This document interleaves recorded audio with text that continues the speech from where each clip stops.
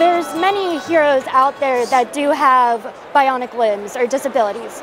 Typically, they are villains because of the stereotype of disabled characters being villains, or there are high-tech characters like Nebula, who I'm cosplaying right now, that have high-tech limbs or are cyborgs. I lost my hand to sepsis when I was an infant. Growing up, I never really saw characters like me.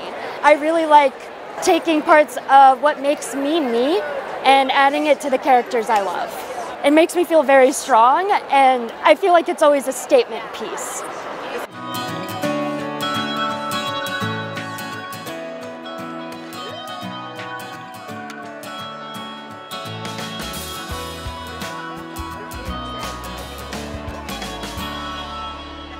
I've wanted to do this my entire life, ever since I was seven years old, to build bionic limbs.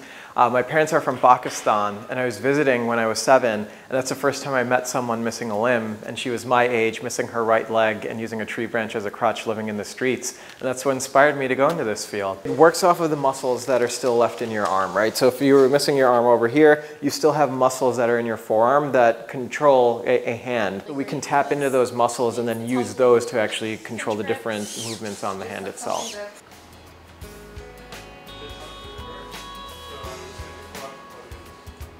The electrodes, which look something like this, are what is pressed up against my skin, embedded in the socket on each side, and those are what reads um, my muscle contractions.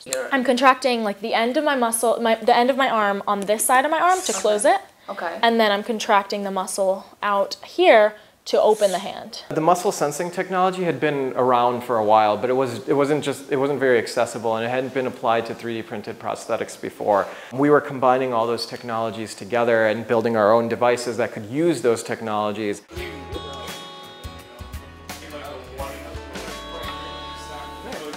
Mark IV was also the first one that we were incorporating touch feedback. So we put pressure sensors into the, the finger. This allows our users to actually feel what they're manipulating, what they're grabbing. You know, saying that I have feeling again would be misleading. It's not like that at all. If anything, I like to describe it like it's like added reassurance grabbing my coffee in the morning, heavy glass of coffee, you know, it's, it's hot, whatever. I get that feedback that I'm holding it, and I've noticed that I, I stopped like staring at my hand when I'm going to pick up a cup of coffee.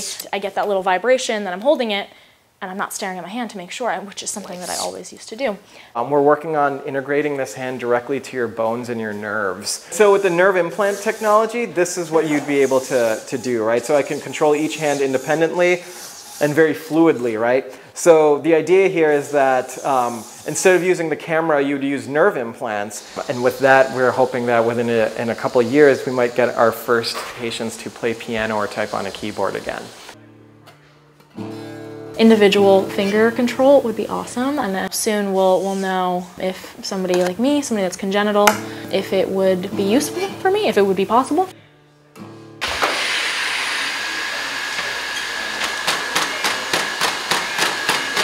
So in addition to humans using our hand, so if you're building a robot to do the same thing that humans are, then you can use our hand for robots as well. And so NASA is building a humanoid astronaut that they eventually want to send into space. And they were looking for a hand that they could use, so they contacted us and to see if we could actually fit our hand on their, robot. And in this picture, you can actually see their humanoid astronaut robot Valkyrie using our hand, and Ani is actually fist bumping using the exact same hand that the robot is using.